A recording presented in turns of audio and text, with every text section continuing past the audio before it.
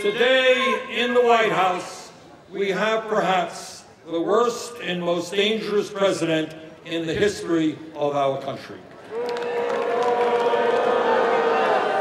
And we also have, not to be forgotten, extreme right wing leadership in the U.S. House and the U.S. Senate.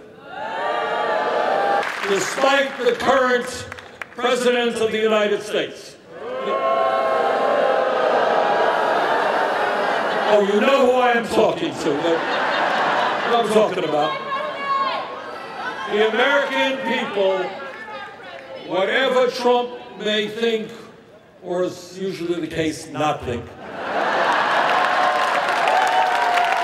American, the American people understand that we have a moral responsibility to leave this planet healthy and habitable for our children and for our grandchildren. And I am more than aware that Republican governors all across this country are working overtime to suppress the vote, to make it harder for people of color, poor people, old people, young people to vote. That is what we are facing today.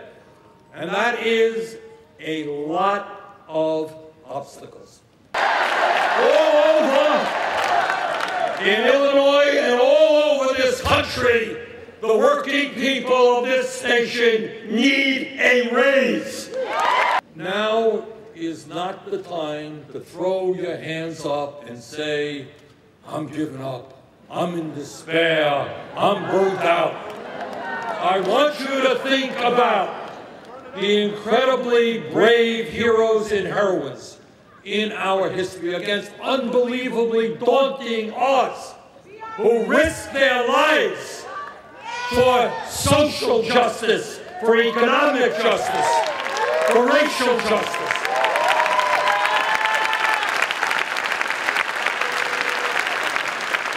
Now, the fight that we are engaged in now is a tough one, no question about it.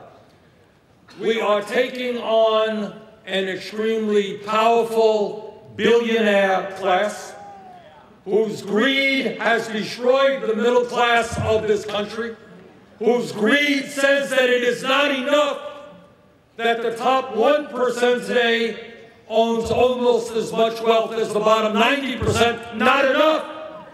They want it all. And what we are saying today, we are going to stand up to that greed, to that recklessness, and tell the billionaire class that this nation belongs to all of us.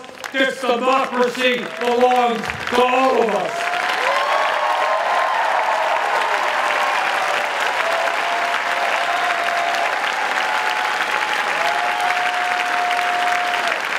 And when we stand together, when we stand together and not allow demagogues to divide us up by the color of our skin or the country we came from, or our sexual orientation, or our gender, when we stand together, there is nothing